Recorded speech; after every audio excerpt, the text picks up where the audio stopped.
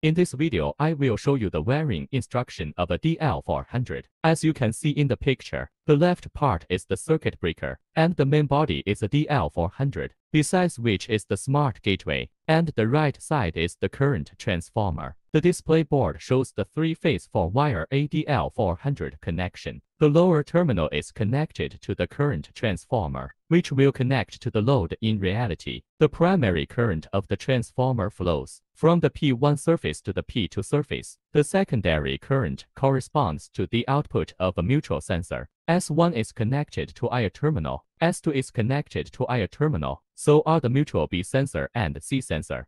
B mutual sensor S1 is connected to IB terminal, S2 is connected to IB terminal. C mutual sensor S1 is connected to IC terminal, S2 is connected to IC terminal.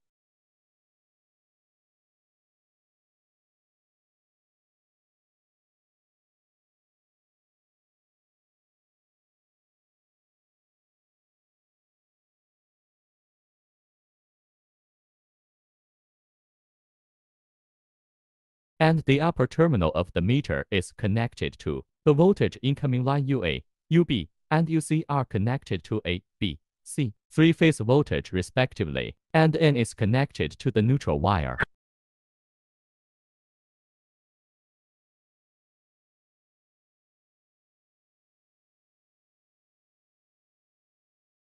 Port 21 and port 22 are the communication terminals, so RS485A 加 B 减 A connects to port 21 and B connects to port 22.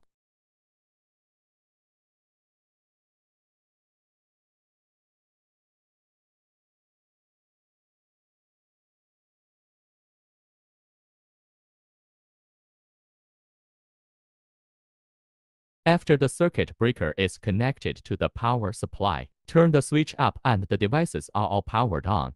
The voltage current and other data can be checked by up and down key. This is the instruction of ADL 400 3P4W connection.